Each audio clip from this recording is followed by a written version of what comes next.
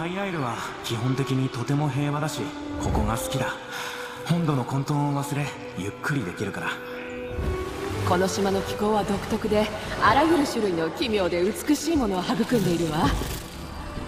朝の後ろに乗って大切な荷物が届くはずだったんだけど来てなくてね。我々がどうしていないと人々に信じさせなければならない。遠い昔私たちドルイドはタムリエルとその苦しみを後にしたの。でもここで私たちの古き道は生き残った。騎士は持っている武器ではなく誰と共にあるかで判断されるべきだと思っているわ。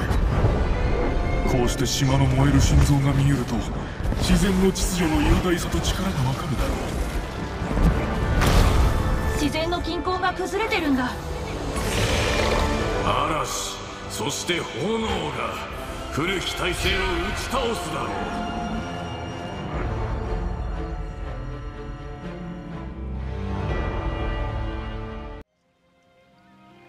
えー、ご視聴ありがとうございます。ジロでございます。えー、エルダースクロールズオンライン、えー、ファイアソング、えー、やっていこうかと、えー、思っております。えー、導入の方は、ね、えー、プロローグなど、えー、お伝えしたと思うので、えー、ここからね、えー、いよいよ、えー、ファイアソングのメインのストーリー、えー、こちらの方やっていこうかと思っております。というわけで、まずは、バスティルだね。うん。えー、こちらの方に行きましょう。デュレフは待っているはずだ、確か。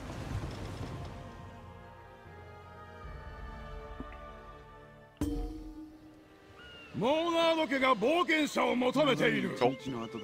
受ける勇気がある者はいるか。私に言ってんだぜ。私に向かって言ってるじゃねえかお前。お前か。ガレンに来てくれるとはな。いいタイミングだ。ここのところ問題が続発していてな。そうだな。モーナード伯爵お抱え魔術師になったんだがそうなの？伯爵はできるだけ多くの助けを必要としているんだ。報酬はいいぞ。魔術師ギルドどうしたんだどんな助けが必要なんだ？よくある仕事だよ。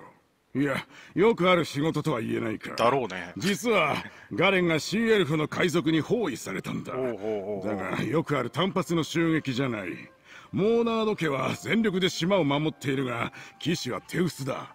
そして、ドルイドは混乱していて支援できそうにない。何がドルイドを混乱させているんだ？フレイサークルの間の構想だ。フリーク。ドルイデがそんなことになっているのは見たことないな。もし助けたければ伯爵の息子のステファン教と話してくれ。彼はバスティリのすぐ外にいてシーエルフの撃退を指揮している。さあどうする？じゃあステファン・モーナード教とシーエルフの撃退について話してこよう。ステファン教は揺るぎなき者の会の指導者であるバカラ教とバスティルの外にいる。そうだバカラ教といえば治療用のハーブを頼まれていたんだ。これを渡してくれ。さて俺は行く。ウィンドラック砦の近くにシーエルフが侵入してきていてね、うん、シーエルフについて詳しく教えてくれないか？シーエルフ？お前この海域に来て間もないんだな。そんなことは実はない、ね、学術的にはマオマーだがそう呼ぶ者はいない。大きなピャンドニア島から来る血に飢えた襲撃者だ。普段見かける船は数隻だがこいつらは艦隊を持ってる。海賊の艦隊？巨大な艦隊だよ。奴らはドレッドセイルと名乗っている、うん、しばらく前からこの諸島で問題を起こしている凶暴な海賊だが規模の大きさには誰も気づいてなかった。どうやら略奪より征服を狙っているようだな。なるほどね。海賊は誰が率いているんだ？おそらくシーロード・ナロスって呼ばれるやつだドレッドセイルでの地位を約束してシーエルフの船長たちを勧誘している、うん、ビャンドニアから離れた場所にシーエルフの王国を作ろうとしているのかもな。なるほどね。それなら今起きている問題の説明もつく、うん、ドルイドが揉めていたのは何だったんだそれで？シストレス諸島のドルイドは3つのサークルに分かれている。ストーンロアエルダータイドファイアソングだ。普段は仲良くというか互いに邪魔しない。だが最近はそうでもないな、うん、アークドロイド・ミシエルというファイアソンがグレンモリル・ウィルドを攻撃したな。知っている。俺もそこにいた。フ ファイアソングはアークドルイド・ミシエルの旅について何も知らないと言って彼の行動を認めなかった。俺は信じないがね。ストーンロアやエルダータイドも信じちゃいないらしい。なるほどね。フリーとドロイドローレルはどうした？ここにいるのか？ああ北にあるストーンロアの村グリマーターンに滞在しているああ、なるほどね。ローレルはシーエルフの侵略についても探っているよフリーはほとんど彼女のそばを離れないフリーを見たら驚くぞ信じられないほど成長したから。成熟というべきかなどう表現すべきだろううん。見るのが楽しみだな。うんファイアソングドロイドはアーセンルーという居留地でストーンロアを攻撃したな、そういえば。ああドルイド・ローレルから聞いた、ストーンロアは衝撃を受けているよ。論争は何年も前から続いていて時に暴力的になることはあってもサークル間で全面戦争にはならなかった。お前がなんとかストーンロアの種を守ってくれたがな。で、ストーンロアのサークルは聖なる種をどうしたんだ？ローレルはどこかに隠したようなことを言ってたな。だが彼女も他のストーンロアも困惑しているよ、種は単なる象徴だ。アークドルイド・デビリックがそれを入手するため殺す準備までしていた理由がわからないんだ、ハイアイルでエルダータイドドロイドと衝突したな、そう。いえば。エルダータイドはブレトンの貴族を快く思っていないんだ。彼らから見たらみんなよそ者だからな彼らは諸島がドルイドのものだと信じていてその信念に基づいて行動する者もいるなるほど。だが我々はガレンで休戦協定らしきものを結んだそしてシーエルフが全員の悩みの種だと分かったんだよなるほどね。もう一つ聞きたい。なぜドルイドのサークルは今も揉めているんだ？昔の予言と関係がありそうだと、ドルイド・ローレルは考えているよエルダータイドはシーエルフを非難しているしファイアソングは真意を誰にも説明しない。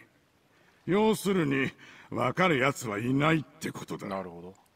で、デュレフはここで何をしているんだ？前にお前と冒険した後ローレルがやっていたドルイドの歴史の調査をもっと手伝いたくなってな、戻ってきて古い書物を引っ張り出しいくつか質問してるんだ。結果ガレンは俺の第二の故郷のようなものになってるよ。第二の故郷？昔船が沈没したって話をしたよな。したね。ストーンロアのドルイドが助けてくれた上、滞在させてくれた時の話だ。彼らは俺に新しい世界の見方を教えてくれたんだ。このガレンでな。魔法を使うためカトラスを手放していたが最近は剣と杖の両方がいる。なるほどね。それでどうしてモーナード家を助けるようになったの？モーナード伯爵から魔術師ギルドに魔導士を雇いたいという連絡が来たんだ、でギルドはすでにここにいた俺を行かせることにしたなるほど。自分の剣や杖を金に変えたのはこれが初めてじゃない俺は伯爵に助言し必要とあらば手を汚しているなるほどね。何でもやると。魔術師らしからぬこともすると、うんいうことだね。さてと、バカロ教と話すのかな、もうガレンは一応、ガレンというかこのね、バスティルはね、観光の会でお見せしたと思うんで、改めてここで、確認することはないですがあそこ見てなんか畑みたいになってるのかな上なんかやってるねドルイドがね。屋根の上に草木を生やしてるな。まあいい。そうそうクエストモーナード家に必要な剣。モーナード家はガレンの自然を鎮めるため強靭な剣士と狡猾な魔術師大胆な冒険者を求めている、えーシストレス諸島北最北の島は 美しくも危険なフロンティアだ。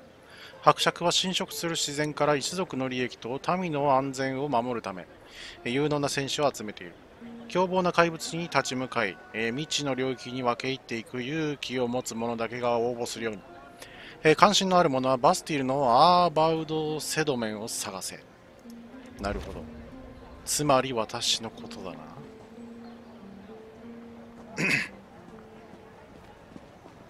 お他にクエストはもうクエスト受けれるの受けてきたらリクエうん。さあ匂いを嗅げ。シェフラジシェーズフラジーズの腕の証明だ。おおそこの旅人。私の下と同じくらい冒険心がありそうだ。急ぎの仕事があるんだがタブリエル最高のシェフの手伝いをしないか。何をしたらいいんだ目の前が煙っているのかそれとも祈りが届いたのか。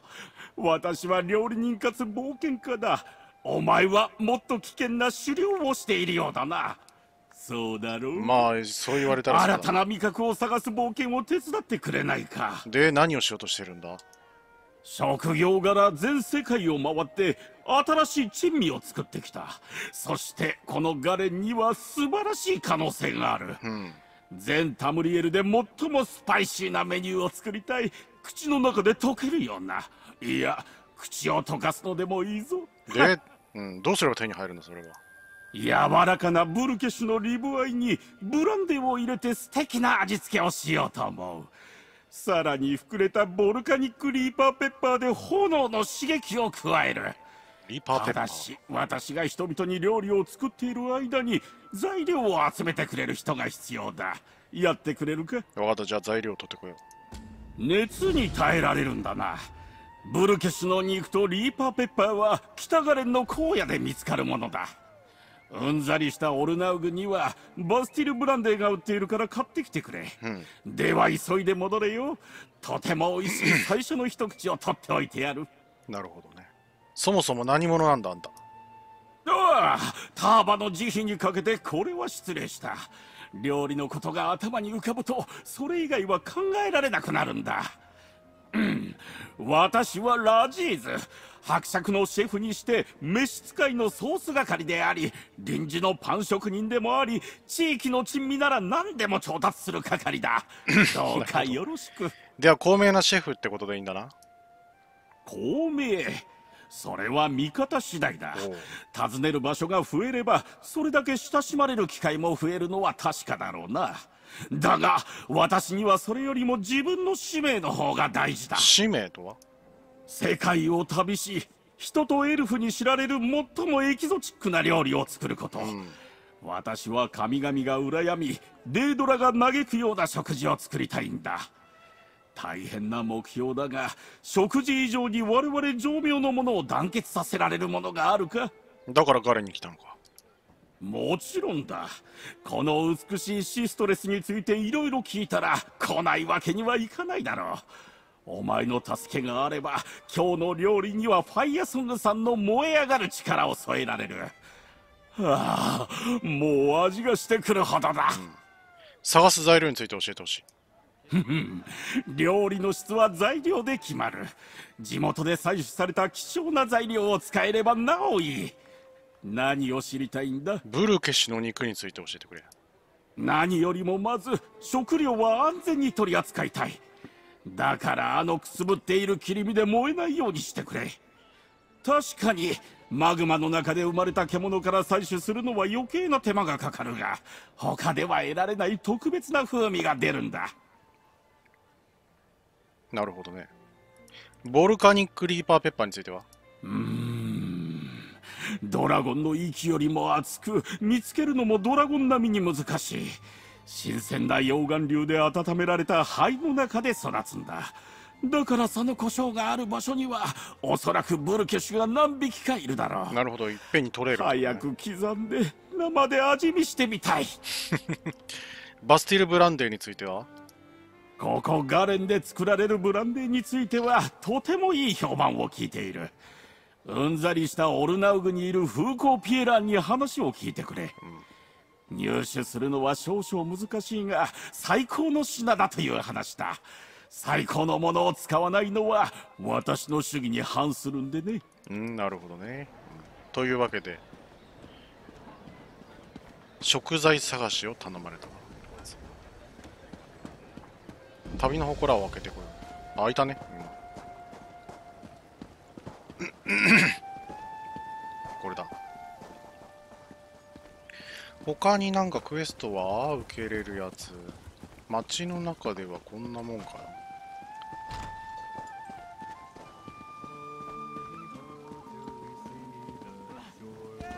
なあここでデイリー。アーバウトセドメン。カルと話せと言われたね。うん。その見た目からしてお前は街中に投函したチラシのことで来たのだろう。モーナード家が募集している危険な仕事を受けるつもりがあるのか？モーダーのモーナード家の依頼を管理してるのか？お前がいや私は配分を監督している。仕事についてはレディ・ジュリンかドルイド・ガストックアイシャベイに聞いてくれ。アイシャベイ。仕事はそれぞれが荒野と関係する。だが全てガレンに利益をもたらしモーナード家から認められているものだ。なるほどね。分かった。どうすれば仕事は受けられる？単独で働きたいならジュリーン・クールセレと話せ。他の傭兵と協力できるならドルイド・ガストックかドルイド・アイシャベイが危険な仕事を用意している。さてこれを受け取れ。支援を受ける家からの贈り物だ。なるほど。ありがとう。ジュリーン・クールセレは単独の傭兵向けの仕事を扱っている。ドルイド・ガストックとドルイド・アイシャベイの仕事には屈強な仲間の助けが必要になるだろう。どれも支払いはいいぞ。それにモーナード家から感謝される。モーダーの家モーナード家のために仕事してるのか？その通り。モーナード家に使えるのは名誉なことだ、うん。最初は石膏と兵士だった。今は危険な任務のために君のような冒険者を探す採用係だ。なるほどな。ここで我々がする仕事はガレンとそのために利益をもたらす。モーナード家に使えるのを誇りに思っているようだな。もちろんさ最近の歴史では過ちがあると思う者もいるかもしれんが私は伯爵が新たな繁栄の時代に導いてくれると心から信じているよ。君のような冒険者の支援でその未来はより確かなものとなる。どうかな。まあとりあえず受けとこう。かおやそこの人。なかなか強そうだ。ガレンの火山の裂け目を封印するのを手伝うつもりはないかい？火山の裂け目の状況はどうだ？ガレン全土に問題を引き起こしているよ。ここまで動きが活発だったことはない。今手を打たなければ裂け目は島を広範囲にわたって破壊するだろう。全て灰になってしまう。うん。手伝えることあるか？冒険者でグループを組んで活動している火山の裂け目に向かってほしい。そこで熱で溶けた獣と戦い紛失を防いでくれればいいんだ。口で言うほど楽ではないが手伝ってくれるならストーンロアサークルから報酬を払うよ。じゃあ部隊を集めて火山の裂け目の対処しよ力を貸してくれて感謝する。さああなたに力を貸してくれる人を登録するのを忘れずにな。これから戦うことになる獣はかなり手強いぞ。うストーンロアサークルにレッドガードは多いのか？いやここには幼い頃孤児として一人で来たんだ。行き場所がなかった時にストーンロアのドルイドが助けてくれた私を受け入れてくれた唯一の家族だよ。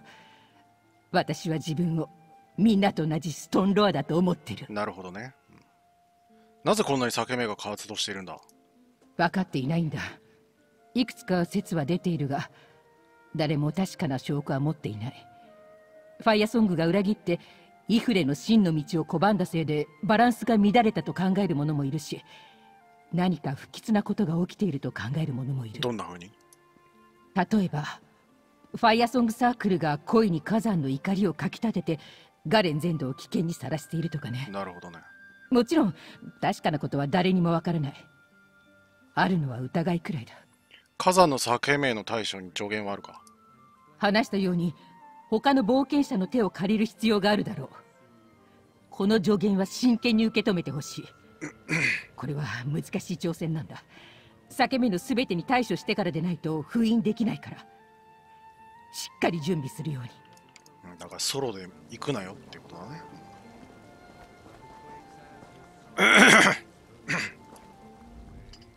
これはこれは。恐れ知らずの探検家が来たわね。サベージシストレスツアーを軌道に乗せる手助けをしてくれるの？名乗り出てくれた勇敢な者にはたっぷり報酬を与えるわよ。何をすればいいの？この島にシーエルフが住んでるのは知ってる？うん。エキゾチックよね。シーエルフの海賊船長にジャングルやガレンの騎士を案内してもらえたらと想像してみて。きっとサベージシストレスツアーが有名になるわ。海賊は危険じゃないのか？だからスリルで興奮するのよ。デルバラスという船長が北東ガレンの集落ルランシャラにシーエルフが住んでると言ってた。うん。そこへ行ってシーエルフに仕事を約束するという内容のチラシを貼ってきてほしいの。興味はある？分かったチラシを貼ろ詳しい話はデルバラス船長に聞いて。彼は普段南の港のあたりにいる。それからシーエルフの見えるところにそのチラシを貼ってくるのを忘れないでね。シーエルフって文字は読めるんでしょあこんなこと聞いたら失礼。それで？サベージシストレスツアーとは何だ？ガレンの新しい期待の星よ。シストレス諸島全土で一番の出来事だと思う。ハイアエルのゴンファローネ湾にタムリエル中の富裕層が注目してるけど私のツアーでそれが変わるはず。つまりどういうことだ？サベージシストレスツアーはハイアエルの雄大さとガレンのその野蛮な魅力を融合するの。タムリエル全土から大胆不敵で冒険好きな観光客が集まるはずあなたもその一端を担える。こうした仕事をすることによって？そういうこと。お客さんたちが探検するのに最高の場所を見つけてほしいの私はバステルで忙しいからあなたみたいな英雄の手を借りたい。一緒にガレンを有名にしましょう、うん、分かった、うん、その前にとりあえずおでこを拭きなさい。汚れているよ。恐怖の片鱗も見せずにこのガストックへ近づいてくるとは。大胆な旅人だ私が求めているのはそういう根性だ。立派なヒゲだね。仕事を探しているなら私はガレンで起こる問題の数にも匹敵するぐらいのゴールドを払えるぞ。何か仕事があるのか？お潮にかけてよくぞ聞いてくれた。ガレンの北で緊急の仕事がある。グループで行ってもらった方がいい。フォレスト・レイスがモーナード家の女子たちを捕虜にしてしまった、うん。しかしまだ助けられる。何かできることはあるか？監視人の警告に向かってくれ。捕虜は生命のエキスを摂取するため根によって拘束されている。この生薬があれば拘束を弱め脱出させられるはずだ。なるほど。薬があるとはいえ絶対的なレイスと戦う必要があることに変わりはない。心して言ってくれ。フォレストレースに対処して助手を救出しよう。すげえなんか飛び飛びになっちゃった。ガレンで長く過ごしすぎてここに潜む危険に麻痺した者はこういう目に遭うんだ。私の息子を救うよう懇願してきた母親と話すことがあっても今の話は言わなくていいからな。うん。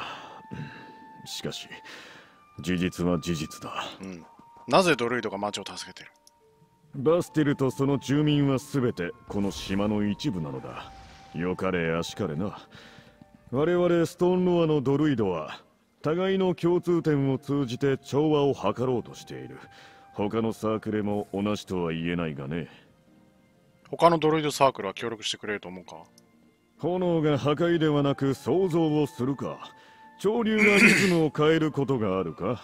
そんな変化を待っていたら山が平らになってしまうだろうな。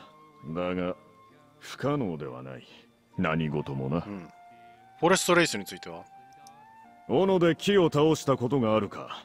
その木を使って鎧や武器を作ったことがあるか。想像してくれ。斧の最初の一撃と同時に狙いをつけた木に反撃されること。それがフォレストレイスだ。レーコンなのか木なのかどちらだ？必要とあらば森のレーコンはドルイドの魔法を増進させて人と木を融合させられる。あ中には自ら進んで身を捧げその名誉に預かる者もいる。その結果生み出されるのが双方の強靭さと生命力を合わせ持ちどちらの知性も持たぬ歪んだ守護者だ。あなるほどね。戦う前に知っておくべきことは。レイスの叫び声を聞いたらすぐに武器を構えろ。その後は移動する地面とまやかしの魔術に注意するんだ。レイスに敵だとみなされたらこの存在を操るイかれる霊魂を説得する方法はない。戦うのみだ。なるほど。気をつけておこ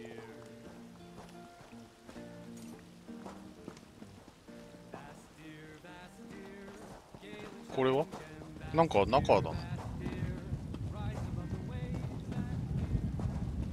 あ違う中じゃない。下だよっ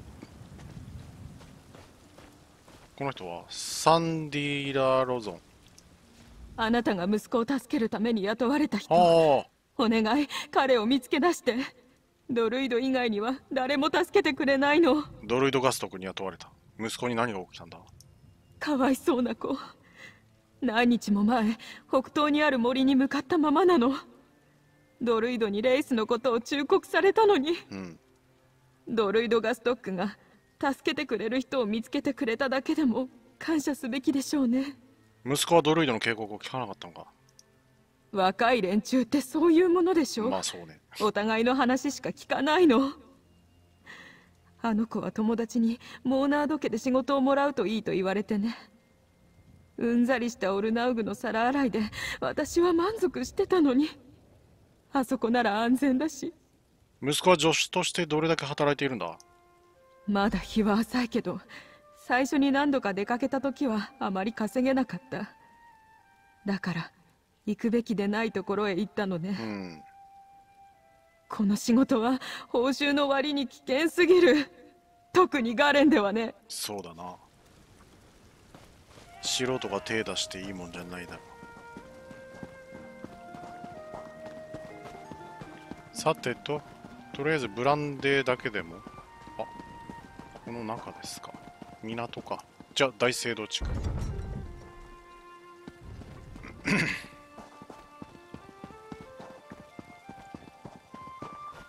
大聖堂地区にうことになっていたけど遅いわね。大聖堂地区には何が待っている？あれ？入れと言われた気がして入ったけど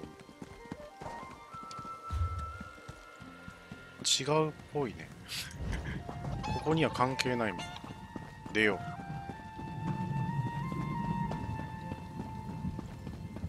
とりあえず外出るか。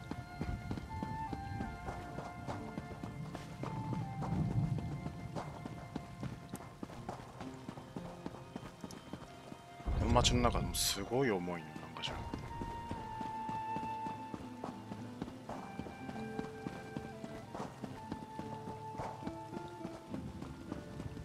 ガルフェンあなたの仲間も危険にさらされている。シーエルフは襲撃の時に相手を選んだりしない。それは否定しないよファイダ教だがストーンロアは自分たちで身を守れる。仲間を町に連れてくるよう提案しているの。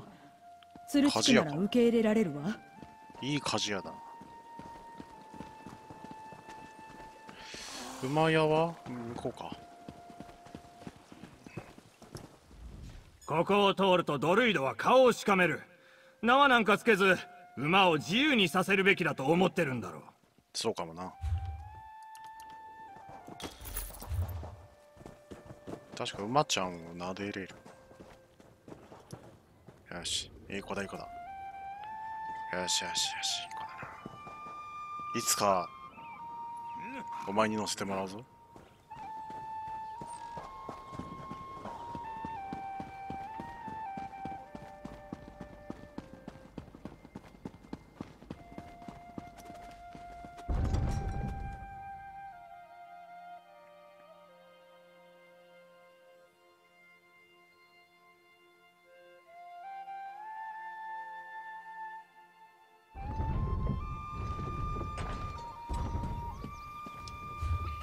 さてと、まずはここかなメインクエスト、バカロ教と話す。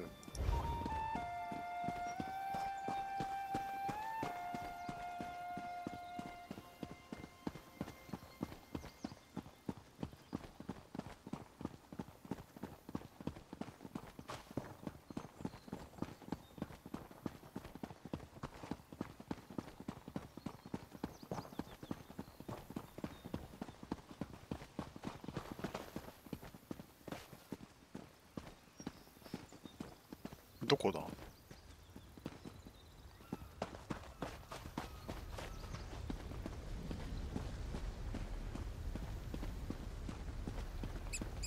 これかいたわ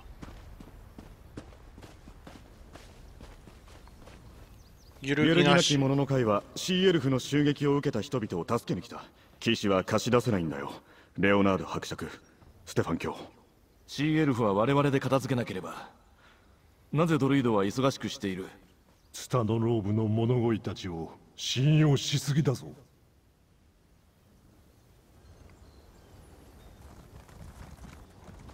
揺るぎなき騎士とバカロ教。モーナード教とレオナード伯爵。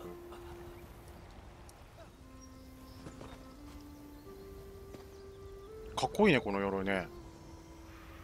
モーナード教の鎧かこれか。おや才能あふれるレディ・アラベルの助手じゃないか。ガレンの騒動が君をここに呼び寄せたのかな。何か私にできることはあるか。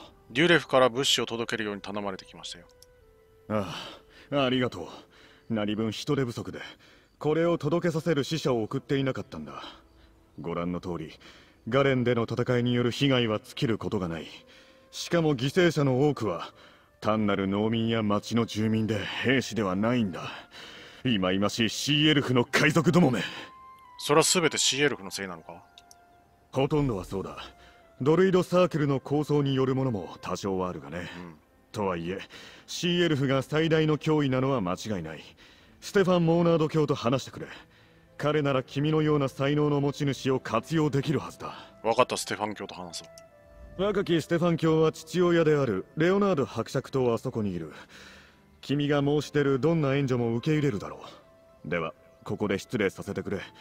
永遠に終わらない揺るぎなき者の会の仕事に戻らないとな。なるほど。揺るぎなき者の会はここで何をしてるんだ？モーナード家はいわば隣人だ。レオナード伯爵がガレンでのシーエルフとの揉め事について連絡をくれてな。ハイアイルでなすべきことはたくさんあるがそれでも旧友は助けなければならないだろう。うん。ハイアイルの和平交渉はどうなっている？私は可能な限りバスティルとゴンファローネ湾に顔を出すようにしている。両者を頻繁に移動しているんだ。幸い私にはレディ・アラベルがいる。留守にせざるを得ない時は安心して彼女に任せているよ、うん、なるほど。やあ冒険者か。仕事が欲しくないか。手を貸してもらいたいんだ。シーエルフの襲撃は今に始まったことじゃない。だがこんな数の攻撃は初めてでな。南東岸全域が包囲されているんだシーエルフは何を望んでいるんだ？わからない。シーエルフはそのほとんどが海賊で常に楽な獲物を狙うような連中だ。しかしドレッドセールは今までに見たどんなシーエルフより戦意が高い。彼らの目標が何であろうと撃退しなきゃならない、うん、何をしたらいい？地図を貸してくれ。ドレッドセールの目撃情報を受け取っている。ウィンドラック砦の近くとトゥイニ村。それにサンクレフトイリエだ。これらの場所を調査してシーエルフがいたら追い払ってほしい。戦わずしてガレンが落ちることはないと教えてやろう、うん、戦闘の準備はできているのか？理想通りとは言えないな。島全体を守るには騎士の人数が足りないんだ。だが兵士以上に必要なのは情報だ。可能ならドレッドセイルの真の狙いを突き止めてくれ。それから次の襲撃場所が分かるとはありがたい。なるほど。分かったすぐに向かおうステファン教調べてほしい場所は全て東にある。砦と村でシーエルフを見つけたら追い払い。洞窟で何をしているのか確かめてほしい。終わったらバスティルの私に報告してくれ、うん、攻撃されている場所について教えてほしい。時間は差し迫っているが着手する仕事について情報を得ておくのは賢明だ。どの場所について知りたい？ウィンドラック砦について教えてくれ東からの襲撃からバスティルを守るため数百年前ウィンドラックポイントに建てられた古い砦だ。修理は行き届いていないができるだけ強固な守備隊を配備している。それでも不十分かもしれないけどな。他には？ドルイドの村については？トゥイヌか？そうだ。エルダータイドの集落だ。モーナード家に対する行為はほとんどないがそれ以上にシーエルフを嫌っているドレッドセールに対してしっかりした防御を敷いていると期待していたがしばらく前から音沙汰がない。他に質問は？うん。どうしてイリエはそんなに大事なんだ？今日の今日までサンクレフトイリエは全く重要な場所ではないと言っていたんだがな。美しい場所ではあるがドレッドセールの上陸に適した場所は他に間違いなく存在している。あのシーエルフども一体何を求めているだろうな。これで全部か？うん。3つの地点のうちどれにどれを最初に訪れればいいと思う？それは任せる。鳥デカ村で味方が見つかるかもしれないな。何をするにしても大切なのは時間だ。今シーエルフの脅威に対処しなければ奴らとバスティルの壁で向き合うことになる。なるほど。でそれであんたは誰だって？ああ失礼。この騒ぎで自己紹介を忘れていた私はステファン・モーナード。こちらは父のレオナード・モーナード伯爵だ。我がモーナード家は上級王エメリックに仕えガレン島を統治している。では父親がガレンを統治しているのか？バスティルとその周辺を統治していると言った方が正確かもしれないな。ガレンの北半分はほとんどが荒野でそこにはかなりの人数のドルイドが暮らしている。だが彼らは我々には頼らず自力で問題に対処しているんだ統治下と言うべきにはいかない。なるほどね。ドルイドにはどんな騒ぎが起きている？ガレンはブレトンの土地だと考えられているがドルイドたちはここに数百年住んでいるんだ。中には町の住民を好まない者もいるが彼らが海賊から沿岸を守っているのも確かだ。特にエルダータイドサークルだな。彼らは勇猛で戦いを避けることはない。エルダータイドサークル。諸島に存在する3つのドルイドサークルの一つだ、うん、エルダータイドは海岸で暮らしよそ者を嫌う。ファイアソングは属性を離れ古くから住む土地に閉じこもる。そしてストーンロア。私は小さい頃彼らと一緒に学んだ。ドルイドと一緒に学んだのか。そうだ。ドルイドとも学んだし騎士団でも教育を受けた。シストレスの様々な教育を受けたと言えるんじゃないかな、うん、興味があるなら後で詳しく教えよう。だが今は調査に向かってもらいたい。分かった。仕事を理解したか？シーエルフはこの辺りにいない。行って探せ。成功を祈る。あんたが伯爵だろなぜガレンの防衛を指揮しないんだ？愚かな危険を冒す指導者は長く持たない。私の民に対する最高の奉仕はここの指揮で。戦場での戦いではないからな万が一必要となれば迷うことなく騎士と出撃するつもりだがそれまでステファンが私の意思を代行してくれるだろう。なるほど。騎士たちは民を助けているんだね。でまずはなるほどここら辺を調べてこいということだな。まあぐるっと回りますか。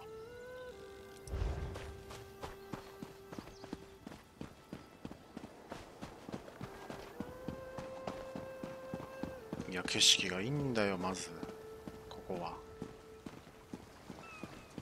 ハイアイルもそうだけどさ。なんかやってんなあそこ。コーラルクラブとファウンだねあれは。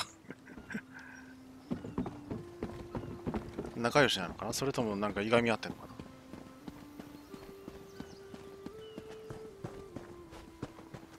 な？あやってますね。ファウンが踊ってますよ。陽気な種族なんだよね。ああやってね踊っているわけ。あといたずらしたりとか。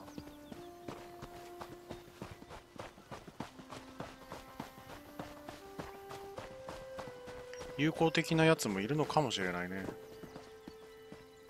あれは？ラナザ。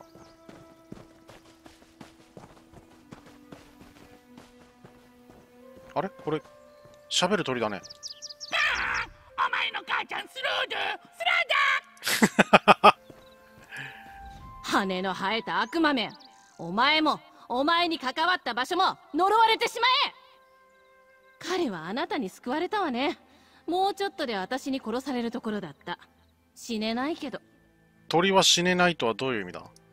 そのままの意味よ。おそらく数百歳なんでしょうけど空っぽの頭にあるのは2つの謎かけだけ。闇のランターンと言われる長く失われた財宝に関するものよ、うん、私にはさっぱりわからないし船員にもわからなかった。ターバよ彼らの魂を導きたまえ。船員？あなた船長なの？ええ。財宝を捜索中にドレッドセイルと出くわしてね。なるほど。キコと私しか生き残れなかったの。財宝を見つけて船員の復讐をしたいんだけど謎かけは苦手なのよ。助けてくれたらお礼はするわなるほどね。じゃあ謎かけを聞いてできることがないかと確認してみよあなた謎解きは得意そうね、まあ、あの鳥に喋らせるには合言葉を言わないといけない。アビシアンの略奪者たちの古いことわざよ。獲物がなければで第一の謎かけが。報酬はないで第二の謎かけが聞ける。うん。この財宝について質問がある。伝説では闇のランターンと呼ばれているわ。海賊がディープドロイドから盗んだ何かのアーティファクトよ。うんどんな船も分厚い霧で包み込み敵から隠してしまうとか。ドレッドセイルに血の復讐をするには完璧だと思わない？確かにね。鳥は死ねないと言ったか。キコはシストレスに停泊していた艦隊の提督のものだったようね、うん。伝説によればその提督はドルイドの儀式と関わったせいで艦隊に不死の呪いを受けたって話よ。ここにいるバカな鳥も一緒にね。あああれだ。いたね。パブリックダンジョンだったっけあれ。マルフェールス準将の魂のこそがゴーストヘブン1で破ったぞ。本当？うん。キコは再び死ねる体になったの。じゃないかな。あじゃあたっぷり可愛がらなくちゃ。でも船長がやってたみたいに蹴ってはダメね。それと羽をむしって枕にする前に謎かけを聞く方が良さそう、この鳥が本当に嫌いなんだな。いけない？船長はいつも乗組員たちにキコと私は同じくらい頭が悪いと言っていた。でも私は財宝の場所まで案内するなんて約束したことはない。どっちがまともな待遇を受けたかわかるでしょ？それは復讐しようとしているのと同じ相手だな。船員のこと？当然でしょ。生まれてからずっと海賊だった私がこの世界で知ってる唯一の人たちだった。家族みたいなものよ。なら当たり前でしょ。キコはあの謎かけをしつこく喋ってるから同意してるんだと思うわ、話にあったディープドロイドとは何者だ？エルダー態度じゃない？伝説って曖昧でしょドルイドから盗んだ後反撃されて隠したのよ、後で闇のランターンを見つけられるよう誰かがキコに謎かけを教えたようだけど探せなかったようね、うん。どうやって船員たちは鳥と出会ったんだ？略奪したの。多分あいつはいくつもの船を渡り歩いてきたのよ。呪いで死ねないから。なるほど。そう思うと哀れな感じよね。感じだけは。どうして財宝へ導くと分かった？ああそれは私のせいね。前に宝を手に入れた時いつもの癖で公開日誌を読んでいてうん。キコの合言葉を見つけたの。なるほど。船長は財宝の匂いを嗅ぎつけて決断し私たちはシストレスに向かった。なるほどね。聞いてみようか。キスしながら揺れろ。キスしながら揺れ獲物がなければ。ろ獲物がなければなければこの半分は掘られた空き地の絡まった根の影の下に眠る。火の流れが木を切り見る者の家の南を通る。見る者の家の南をとは報酬はない。払え払え。第二のかけらは手の届くところにある。西の岸から風と南波の浜辺の間。そこに松木を手にして近づき大釜を見て砂を返せ砂をなるほど。たわごとにしか聞こえないでしょ？まあね。書き留めてあげる。西の岸から風とナンパのうん。行き先がわかるなら言って。鳥を見張ってるわ。後で会いましょう。後で会おう。まあでも大体案内出るんだよねこれね、うん。この辺りにさあったよねなんかあのちょっとした祠というかなんかそこが場所なんじゃねえかなと思うんだけど。まあ行きますか。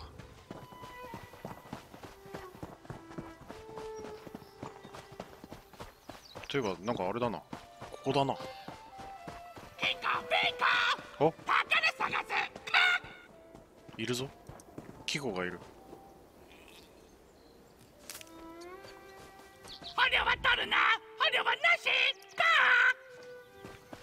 ここにいるのか。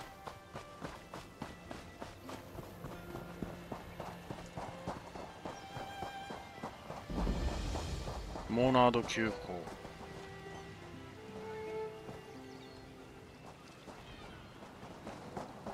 あえこれ？こんな感じであんの？これか。鉄の。ターバのくちばしにかけて。鳥の謎かけを知らなければあそこを見ようとは誰も思わないわね。確かにね。おだれキコおだれ。翼のある大だらった。ぐ第一の謎かけ終了。そんなに難しくなかったわね。近かったしね。キコに厳しくしすぎたかも。彼は教えられた通りにしてるだけ。あれこれ知ってるわけじゃないんだから。うんで財宝見つからなかった。これは何だ？見た目からすると鍵？鍵の半分？こんなのは見たことない。今度は残りの半分が出てくるかもね。そして新新たな謎を得るのか。長身のパパの尻にかけて。それは勘弁。でも協力には本当に感謝しているの。キコもそう思っているはずよ。見て。あんなに嬉しそうなのは久しぶり結構仲いいんだなやっぱり。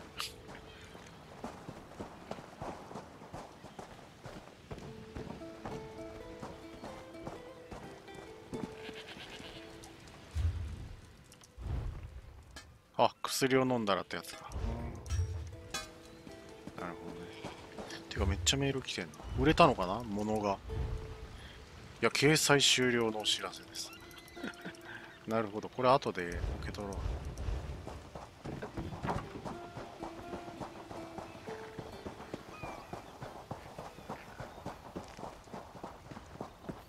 まあ売れなかったらねある期間が経つと戻ってきちゃうのね。まあだからまた手数料がいるよってこと出品するには。まあだからちゃんと売れる値段で売っとかないと結局お金が手数料がかかっちゃうのよ。だそういった駆け引きというかね。そういうのも大事ですよ。さてここは？おいこっちだ。あなんだ？デュレフか。ここで会えるんじゃないかと思っていたよ。シーエルフの一団が上陸し砦を奪った。アザラシどもはさらに援軍を送っている。ドルイドの支援を期待していたが来てくれなかった。ここは我々次第だ。ステファン教に依頼された。考えはあるのか？増援部隊を大量に乗せたシーエルフの軍艦を発見した。なるほど。幸い砦のバリスタは無傷だ。ね。バリスタのところに行って船を止めてくれ。そうすればすでに上陸した敵を片付けるための時間が稼げる。で何をするんだ？騎士を集めて再編成し怪我人を復帰させられるか試してみる、お前が援軍の上陸を阻止した後砦を守るには彼らが必要になるからな。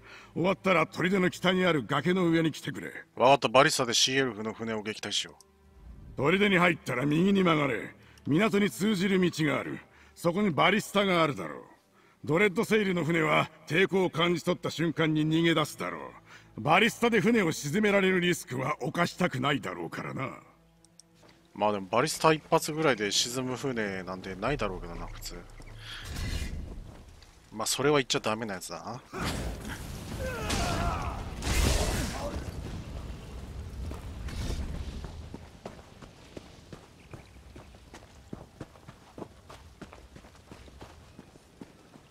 どっちから行くんだっけ？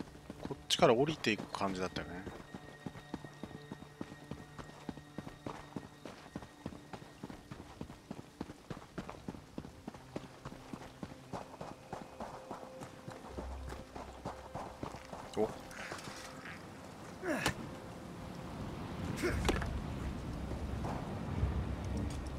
さすがに出ないか。手がかりは。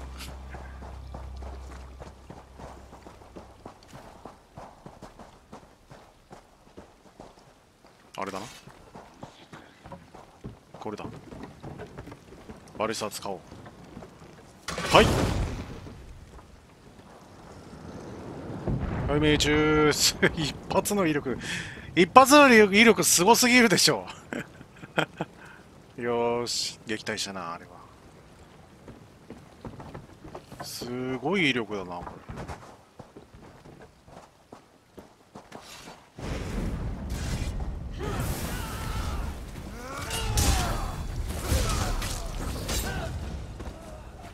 お前もか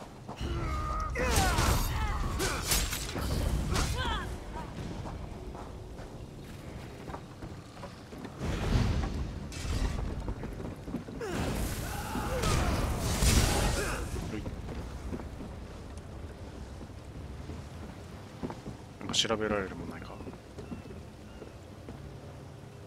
やもないか。お野菜ぐらい。あちょっと本がある。嵐とひまわり。歌だねトランク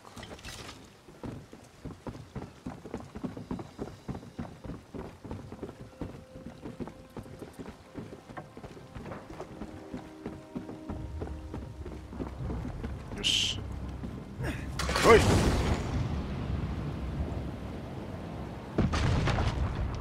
あちゃんとあれだね。あ逃げてる。船員いるわ。海に飛び込んだやついたね今ね。へえ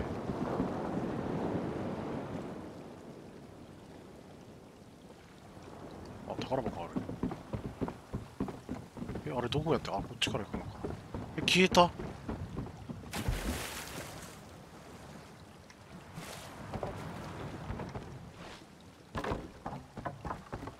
単か。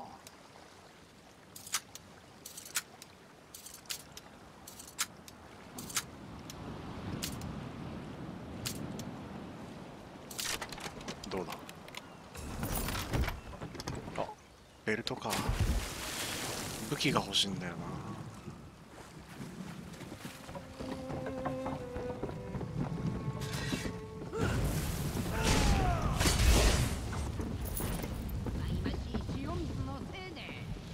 もう一個どこだっけ？反対側だっけ？船渡って反対側か。ああ先に行ってやった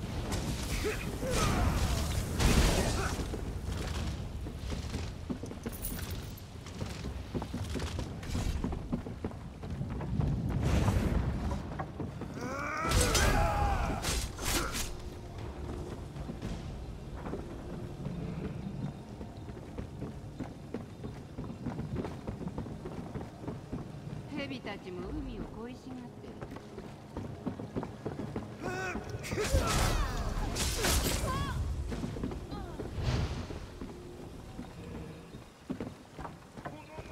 るよし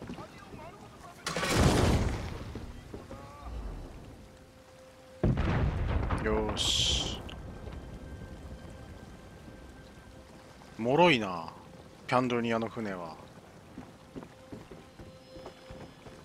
これで？どうしたらいいんだ？次は？デュレフと話せばいいの？これだけでいいの？あいつら。ドリルでなんかやってんの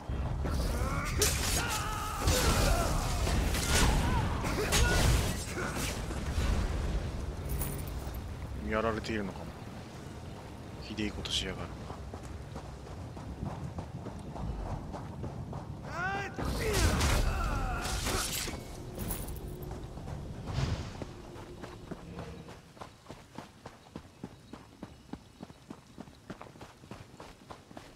見事だったよ。完璧にやり遂げたな。よし。ドレッドセイルは凶暴かもしれないが忠誠心に欠ける。数は多くとも仲間のためにあえて危険を冒すことはしないんだ。そこをついてやればいい。なるほどね。ここで他に何か必要なことあるか？お前は役目を果たしてくれた。ウィンドラック砦に残っているものは俺たちで対処できる。奴らを助ける援軍は来ないからな。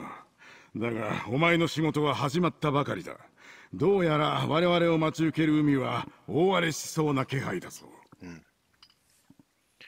トゥイニュにあるドルイドの集落について何か聞いたことあるか？シーエルフはそこも襲撃したって噂だ。沿岸を北に進んだところにある。ストーンロアサークルのドルイド・ローレルが調査をしているはずだ。彼女のことを気遣ってくれると助かるよ。ローレルは俺の親戚みたいなものなんだ。これは聞かなくていいね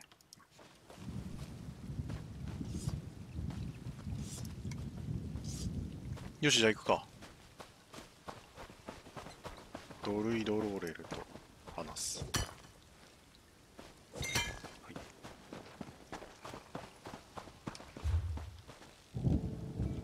トゥイニュこれだけなんか英語。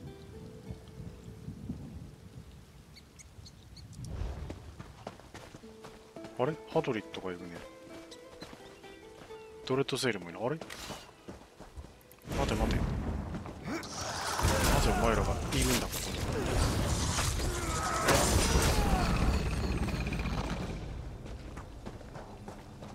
これは。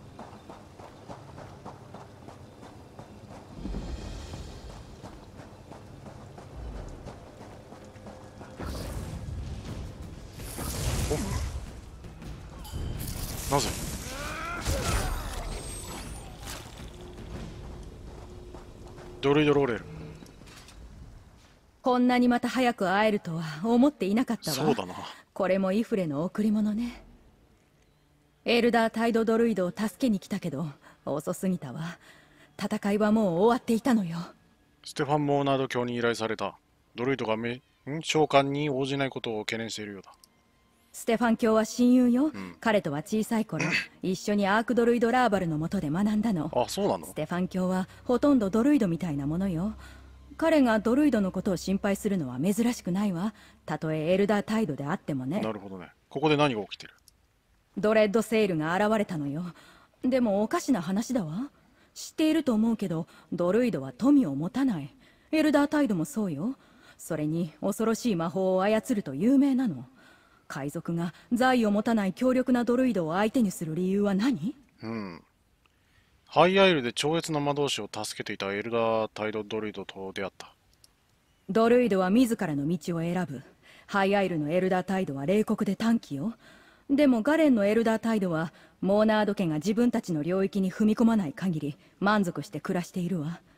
彼を怒らせたドレッドセールは愚かだったわね。うん。ステファン教はドレッドセールの繊維がいつになく高いと言っていたなそれは変ね。シーエルフたちはこの攻撃で何を得ようとしているのかしら。調べてみましょう。何かあるのかもしれ気になるものや不自然なものがないか探して。運が良ければシーエルフがトゥイニを攻撃した理由がわかるかもしれないない。そうだな。まずそれ調べよう。なんだ？あれ？もしかして噴火してるね。行こうか。ローレル待っててくれ。やるべき仕事がある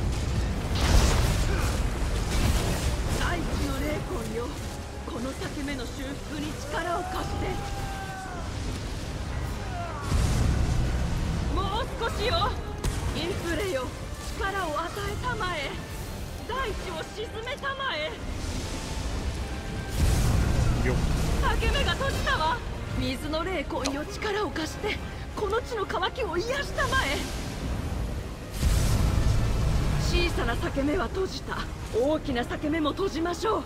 どこに行くんだ？強すぎるわ。あんたに勝ち目はないよ。抑えきれない。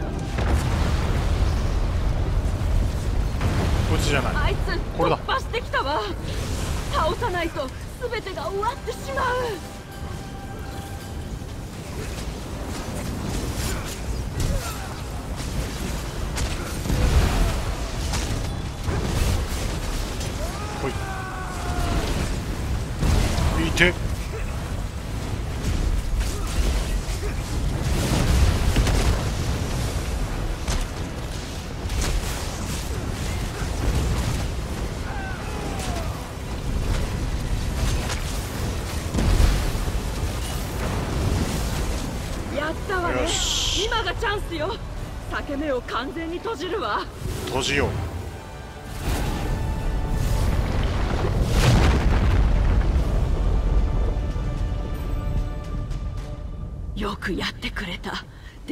謎は残っている。私は仲間のところに戻って今回の出来事を報告するわ。また会いましょう。また会おう。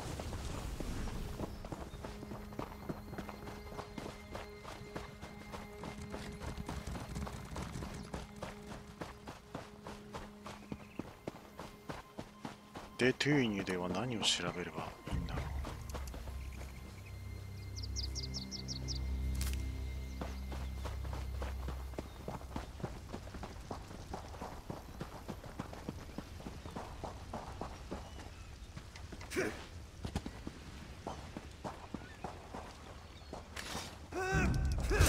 こいつ。下がって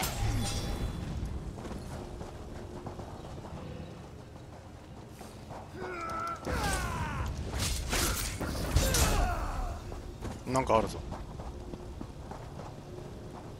ドレッドセイルへの命令。ドレッドセイルよ。私はお前たちに安息の地を約束した。今我らの新たな故郷への道が目の前に開けている。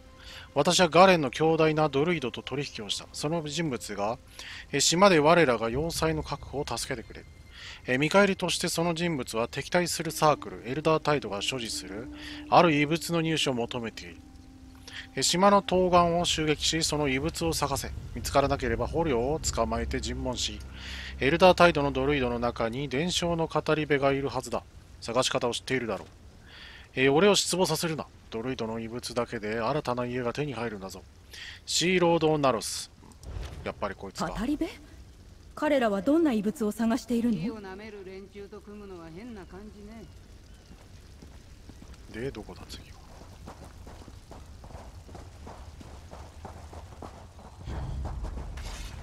やるのか。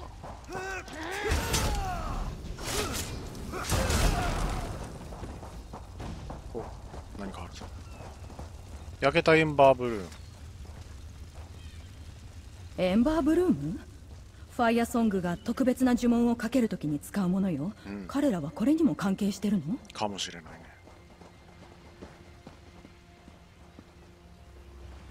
シーエルフって何？えー不明なブレトの子供によって書かれたもの。うんシエルって何？お母さん悪いやつだと言っていたけど、ちょっとおかしな名前だと思う。ママだって。妹が言おうとしたら、もう、おーまあっていう音になった。お母さんは僕たちがこのことを話すと嫌がるけど、お父さんは夜遅くになるとたまに物語を聞かせてくれる。お父さんはシエルが大きな蛇の、海の蛇に乗ること、オルグヌムという大きな怖い王様がいることを話してくれる。お父さんはその王が不死身だって言ってたけど、そんなことはありえないよね。不死身じゃなくても怖そうだった。シエルは怖い。お父さんの話にはたくさん血が出てくる。海の戦いも。妹は物語が怖すぎてワンワン泣いてしまうことがある。お母さんはそういう時腹を立てる。シエルフのことなんか話さない方がいいし、知らない方がいいって。でもそんなことを言われたら余計知りたくなるじゃないか。シエルって本当に何だろうどんな音楽が好きなんだろう？僕や妹みたいな子供がいるんだろうか？シエルフの船にはおもちゃがあるんだろうか？おもちゃがなかったらとても退屈だろう。シエルフは僕たちと同じものを食べるのかな？自分たちが乗る海蛇に名前をつけるのかな？僕だったら自分にはダーセルと名付けよう。シエルフに聞けたらいいのに手紙を書いて送ろうかな？シエルフは手紙を書くのかな？船の上で手紙を受け取れるだろうか？シエルフに手紙を書こうとしたらお母さんは怒るだろうけど気になって仕方がないしシエルフの肌は本当に青なの？きっと綺麗だろう。全員が悪人なのかな？優しい人もいるんじゃないかな？子供のやっぱりこういうところって大事だよね。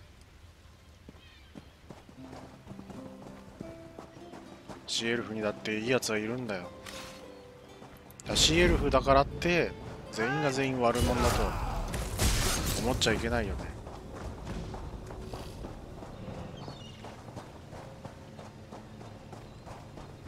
あれ通り過ぎちゃった？もう一丁調べるべきものがあるっぽいんだけど。こっちに来る。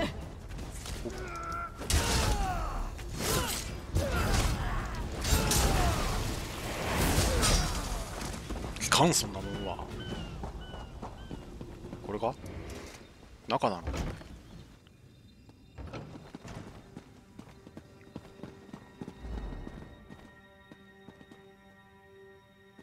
誰もいないね。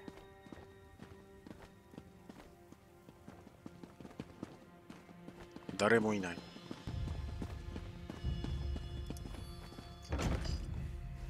家の中だな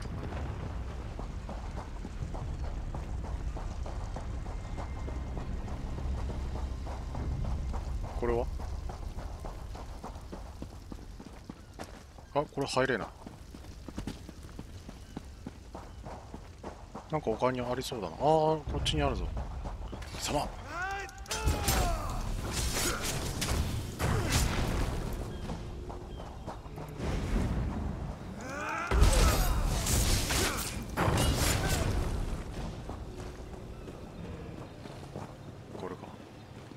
エルダータイドの祭壇。ろうそくはまだ燃えている。この祭壇を管理しているエルダータイドドルイドは遠からず戻ってくるはず。小屋を探しましょう。異物に関係したものがあるかもしれない。そうだね。入ろうさっきのとこだな。ロッジ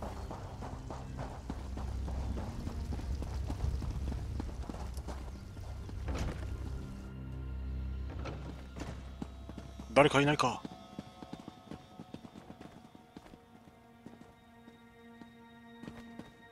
アークドルイドオールレイス。ここで何を？ローレル疑いは裏付けられ。ラーバルがドラオイフェを招集したのは正しい。ファイアソングは参加すると伝えて。種を集める時が来た。ドルイド王の予言が成就する時はもう目の前よ。種？それはこのああまずい。彼女が消えた。友よ話しましょう。あれはファイアソングのドルイドだね。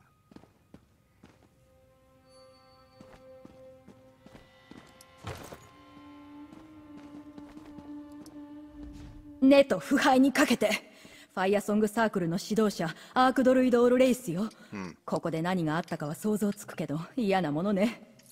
どういう意味だローレルドレッドセールが探している異物はエルダータイドが持つ聖なる種よ。聖なる種は最後のドルイド王が各サークルへと与えた贈り物。オールレイスは各サークルが持つ種を集めるつもりなのよ。ドレッドセールの指令にあったドルイドは彼女のことかもね。なるほど。ファイアソングはアーセンルート居留地を攻撃してグレンモリルでフリーを捕らえようとしていたなデビリックとミッシェルはファイアソングのはぐれ者で単独で動いてるんだと思っていたわ。見つけた命令とオルレイスが言ったことを合わせて考えるとファイアソングは全部の種を欲しがっているのね。そうだな。アークドルイド・オルレイスはファイアソングを率いている。これは彼女の意志よ。なぜ種がそれほど重要なんだ？協力なのか？私が知る限り力はないはずよ。種は最後のドルイド王の予言カソレインの夢に出てくるの他のサークルはそう考えてはいないのにファイアソングは時が来たと思っているようね。ドラオイフェで説明を聞けるかもしれない。ドラオイフェ？3つのサークルから長老たちが参加するドルイドの評議会よ。ストーンロアのアークドルイドラーバルがファイアソングに抗議するため招集したけれどオールレイスは無視しているの。このことをステファンに伝えて海賊だけが彼の問題じゃないわ。わかったここで知ったことをステファン教に伝えようこの人は。プレイヤーさんだった。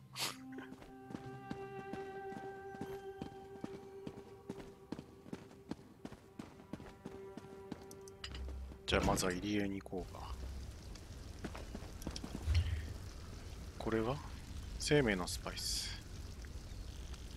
ルランシャラ。これが入り江か。まずは調べよう。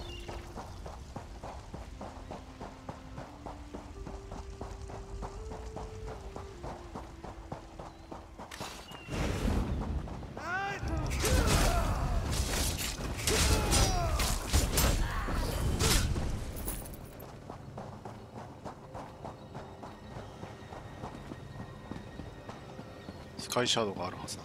この上に。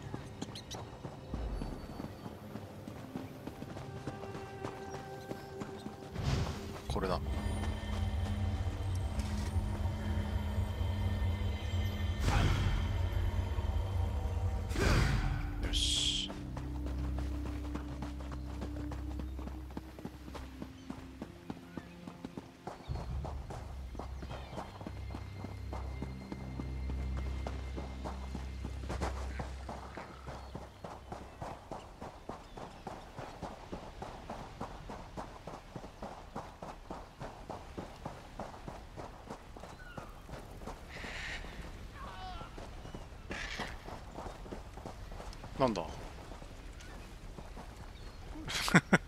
なんだ今のは。空を飛ぶ犬がいたけど。たった一人のシーエルフにやられたのか。彼女は鋼鉄の嵐で我らを撃った。だが誰も殺さなかった。砂の中に入れただけだ。畑騎士コリック信じられるか。部下の騎士の確認に来たのだがこのありさまだ我々はモーナード家の精鋭だぞ。ところでお前は何者だ？私はアラン・レオニダスだステファン教からの入り江の調査を依頼された。ここで何が起きている？私の騎士たちがドレッドセイルの一団をここサンクレフトイリエの洞窟まで追跡した。だが内部を調査する前にあるシーエルフが突進してきたらしい。殺す手間も惜しかったようで気絶するまで攻撃してここに放置したんだと。なるほど。ステファン教はホルについて話していたかそうか。私が報告したんだ。ステファン教が送ってくれたならありがたく力を借りよう。洞窟を探ってくれ。捕虜を見つけ解放する。騎士たちが回復したら後を追う。気をつけろ。騎士たちを倒したシーエルフがいる。大丈夫だ任せろ。洞窟を偵察して捕虜を探そう。ドレッドセイルの捕虜がいると考えている。一部は騎士かもしれないがほとんどは近隣の村のドルイドだろう。見つけて解放してくれ騎士たちが回復したらすぐ私も行く。うん。で何者なんだあんた？名はコリック。モーナード家に仕える旗騎士だ。先祖代々ガレンの領主に仕えてきたことを誇りとする家でな。残忍なシーエルフどもを戦場に引きずり出して打ち倒すか命を捨ててもいいと思ってるんだ。旗騎士とはなんだ？騎士の階級に詳しくないのか？ああんまり詳しくない。それとも本土では違うのか？私の騎士では旗騎士は隊長と同格なるほど。つまり他の騎士に指示を出す立場にある。しかしどうやらこの武骨者たちと仕事をしなければならないらしい、一応私も騎士階級なんだけど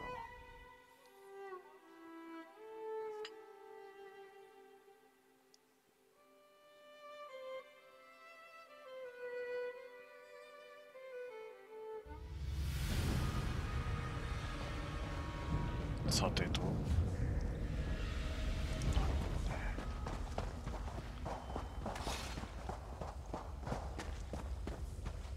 こいつは探している情報を持っている。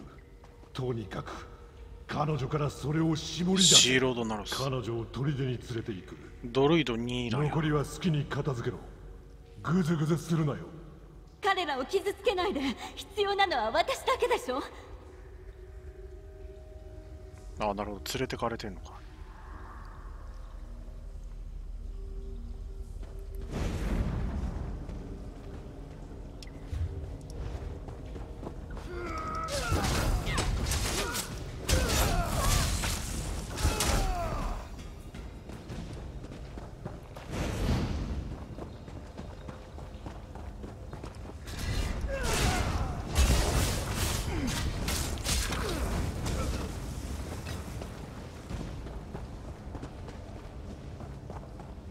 回んなきゃいけないみたいなのど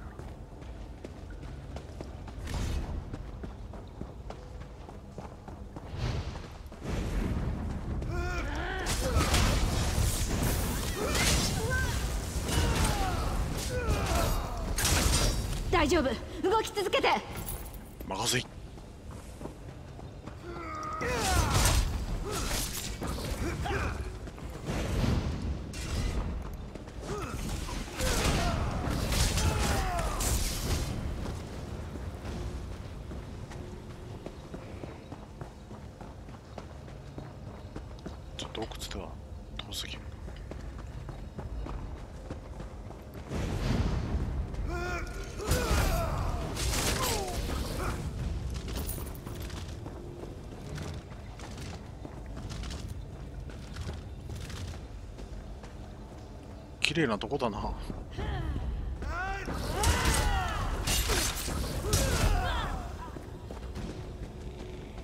っちなんかない？いやそういうわけじゃない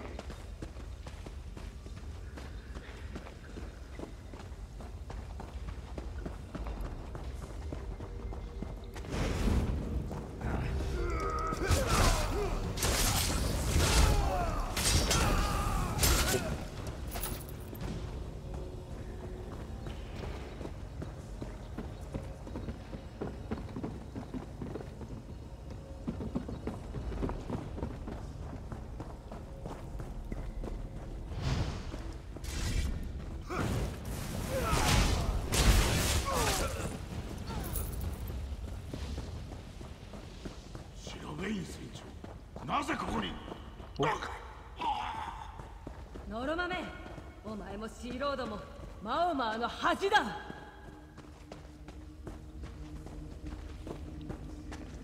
来たよ。手を出さないで。このシーエルフは命を助けてくれた。外の愚かな騎士たちには敵じゃないと話したんだけど奴らよりはまとも？調べ員船長。やっと会えたねなあ話せるかい？少なくともあんたは外にいる他の騎士より賢い。シーロードナロスとその仲間たちは青い肌の者を恐れるようこの島の人間に教えたらしい。言っとくが私はあんな奴には従わないよ。ドレッドセイルと組んでいないなら何者だ？あんたは。黄金の刃の調べ員船長だよ。一般的には海賊と呼ばれるかもねでも裏切り者のシーロードナロスとは組んでないしドルイドの馬鹿げた騒ぎとも関係ない。混乱してるようだね。大陸から来たんでしょ？私はマオマーよ。ステファン・モーナード卿に捕虜を探すよう依頼されている。彼らはもう捕虜じゃない。それにあんたと私が敵対する必要もない。シーロードナロスは私の獲物よ。個人的な理由でねでも教えてあげる。ナロスはドルイドの遺物を探してる。聖なる種と呼んでたね。シーロード・ナロスはどこにいた？さあね。あの汚いうなぎ野郎はドルイドを一人連れて逃げた。多分その子なら種の場所へ案内できると思ったんだろう。いずれにせよ見つけてやる。お仲間にナロスのことを警告して奴が生きてたらガレンは安全じゃない。分かったステファン卿に伝えよう。おお消えた。シーエルフが逃げた？まずいな。だがドルイドたちの避難は可能だ。私たちはここに残る。バスティルでステファン卿に報告してくれ。うん。どうやら敵じゃないシーエルフもいるらしいぞ。ドレッドセイルに殺されると思っていたわ。でも他のシーエルフがどこからともなく現れドレッドセイルを倒した一体どうなってるの？マオマーにも善人がいるってことですよ。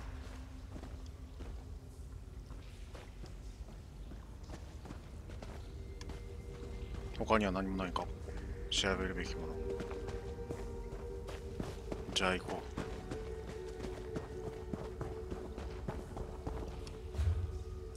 う。こっちから来たのか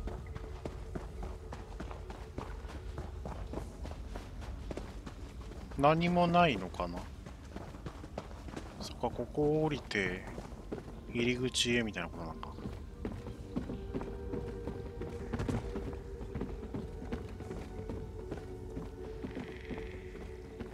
こういうところに宝箱とかあるもんですけど。ありませんね。残念。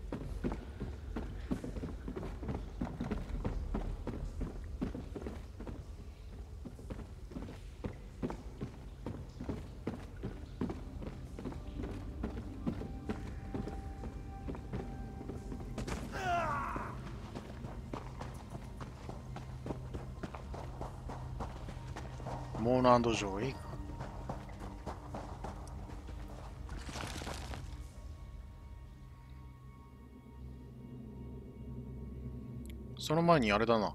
他のクエストをやってから戻りたいね。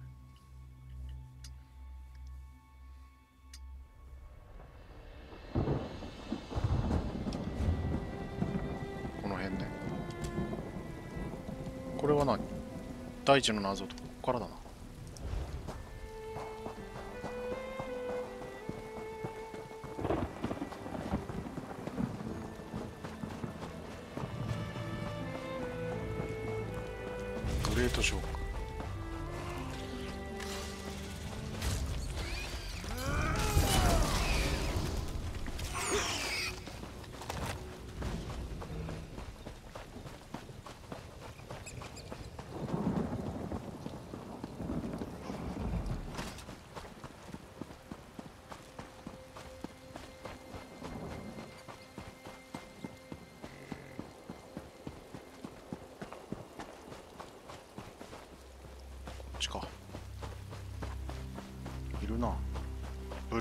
ルケシの長老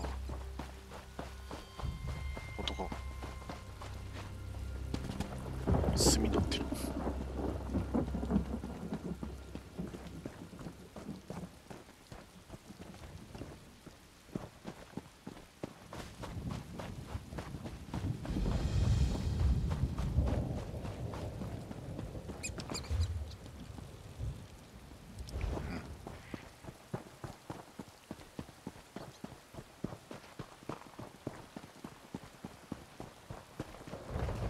これは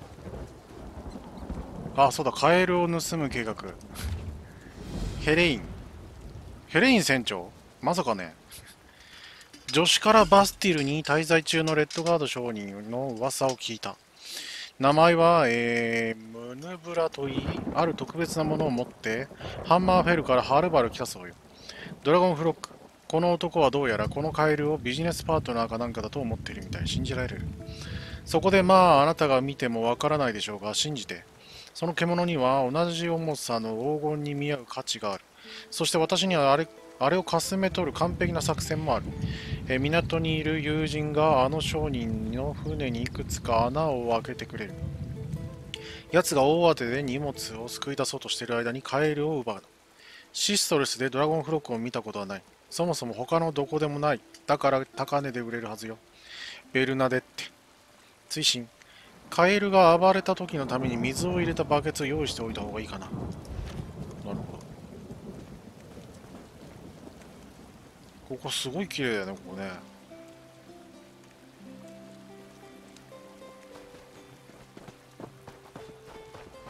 ムヌブラを探すんだまず。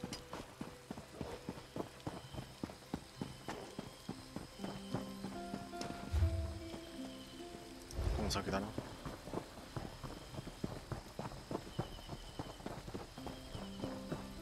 まだ森に入るつもりなかったんだけどな。早いな。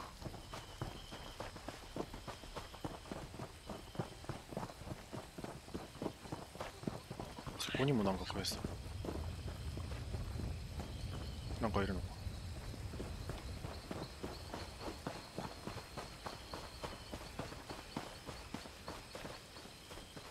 水か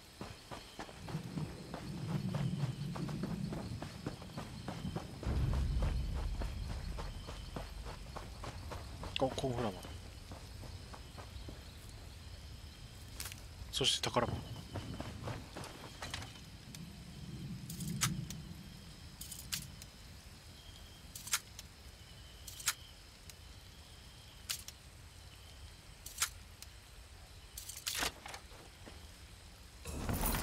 はい。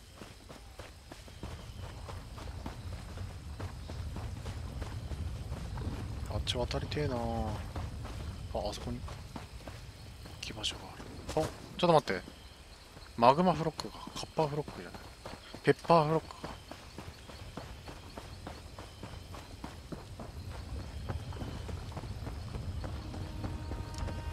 ここだよね。ここだ。まずこの旅のところ。そして。お。宝物だね宝物ここ宝物近いどこだ聞こう。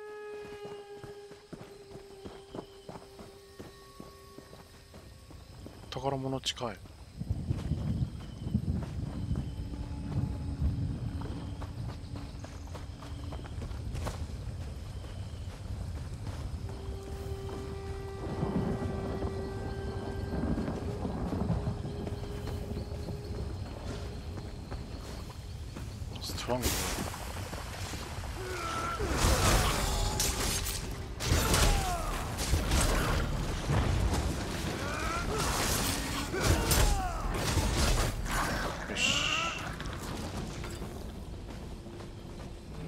今のが最後？よかった。最後だといいんだけどな。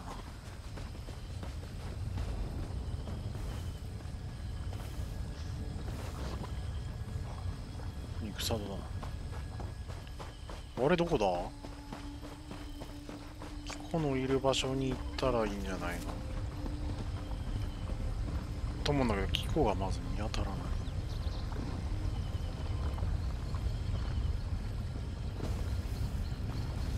ほっ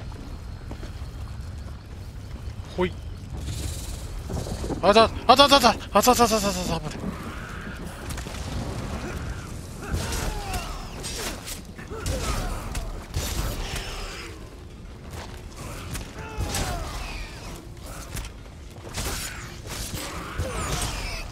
なんかなんかおかしいな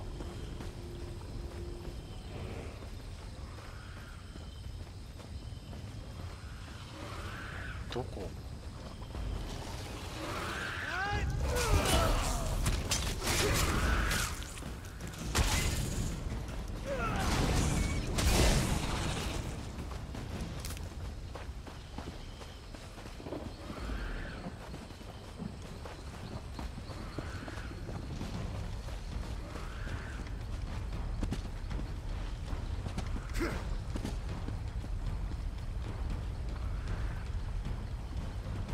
あの上とかもしかして。あの上なんでどうやって行くと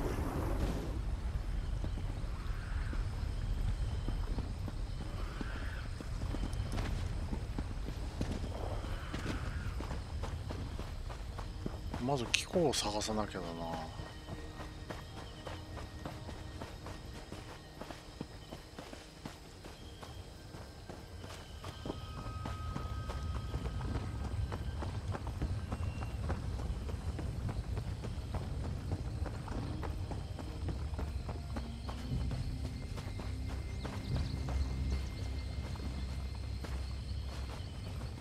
あれはスプリガンベア。あ機構いた。機構じゃない。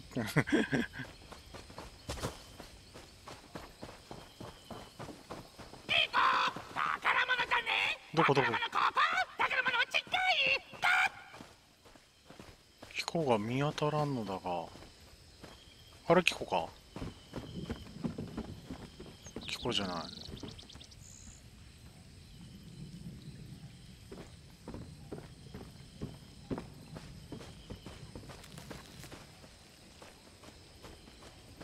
あタラに。彼はここを抜けてきたのよ。悪臭はどこでもわかる。誰かを探しているのか？モーナード家は3人のギャングに賞金をかけてる。ドイツもいろんな意味で危険よ。連中がガレンに来てチリジリになったのは運がなかった。でも全員を同時に相手するよりバラバラに仕留める方が楽でもある。何を買っている？最初の賞金首はウレドヘルというボズマよあいつはいつかアメノスに行きたがるんじゃないかと思ってた。ああいうイカれたやつには絶好の狩り場だから。でもどうやらまずはガレンで殺人欲を満たすことにしたみたいね。彼は今どこにいる？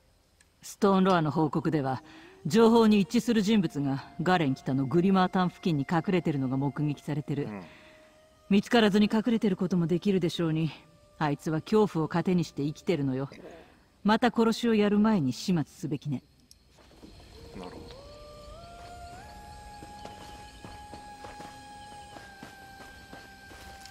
どやった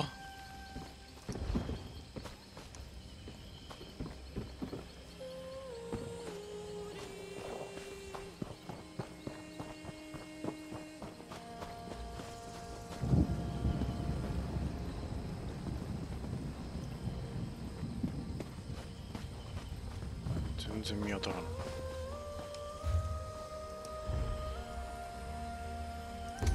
第一の謎を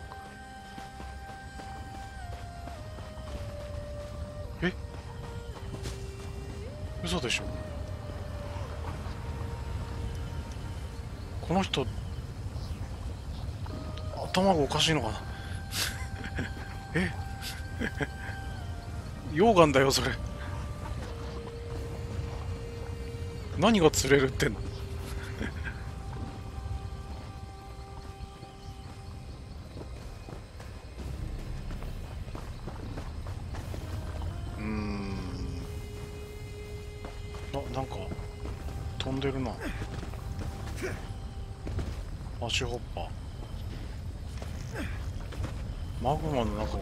マグマの中をえミリー嘘だろ。いくらお前がダンマーだとはいえいくらヨガに強いとはいえ中を歩いちゃいけないと。思うはいだまたお前か。毎回さっきからお前に叩かれてるな俺は。ちょっと上に回れないか見てみよう。上がれないのかな。頑張って。熱い。熱い。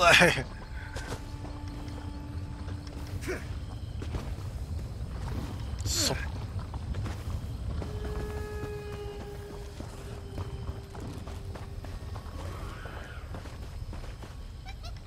上に上がれないのかこれは。これ以上。これ以上上がれる気しねえんだよな。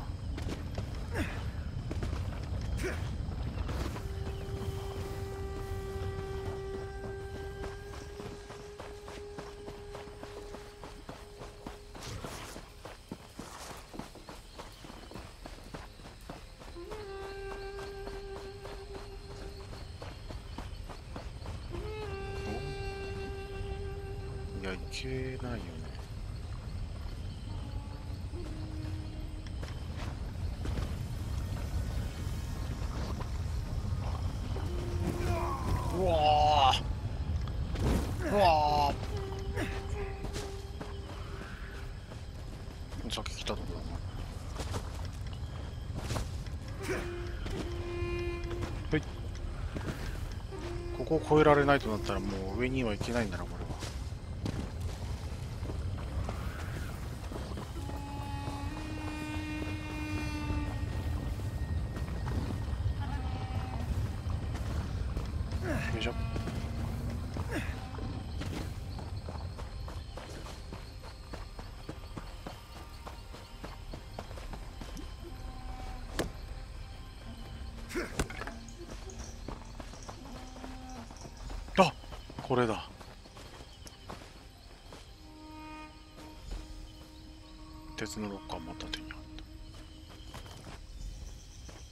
鍵のかけら。あった。謎かけの通りよ。そんなに難しくなかったねキコ。あなたのおかげで2つの謎かけを解いてここまで来た。次は何？二つの場所から集めたかけらが鍵になるようだな。鍵？でも何の？わからない。キコに見せたら別の謎かけをくれるかも。なるほどモルワの4本の手にかけてここまで進めると思わなかった。いい時に来てくれて感謝するわ。もし来ていなかったら何をしていたんだ？あのね本当に痛めつけるわけないじゃない。本当よ。私は海賊だから人を殺したこともあるけどキコは誰も傷つけないもの。船長に軟弱だと言われてもあんな風にキコを扱う気にはなれないなんか急に仲良くなっちゃったね。先生日和だよ。この鍵はわかるか聞こ鍵鍵第三の謎かけの時間だ。歌い手の道の太陽で温められたそばが宝の場所だ。船に闇のランタンを吊るし全ての上から船を包み隠せ。う歌い手の道の太陽で温められた。待ってどこだかわかると思う。鍵があるなら落ち合いましょう。行き先のヒントはいる？一応欲しいんだけど。あなたが自力で解きたいなら邪魔しないけど最後の謎かけの目的地分かっちゃったかも。謎が解けたと思うか？イフレは歌い手でしょ？太陽に温められたっていうのは南のことかも。うん。イフレの道の南。ガレンの北。違う？最初に思ったより謎を解くのは簡単だったようだな。船長はいつも私はこういうのに向いてないって言ってた。誰も船長に反対しないから私も船長が正しいと思ってた。きっと船長が間違っていたんだな。そう言われてみれば船長はいろいろと間違ってた。ドレッドセイルから逃げてる時も嵐の中を後悔するなんてね。それでも彼女のために復讐しなきゃダメかな？まあそれはこの財宝を見つけてから決められる。そう。その通りよ。じゃあ決まり。お宝をいただくわ。うん。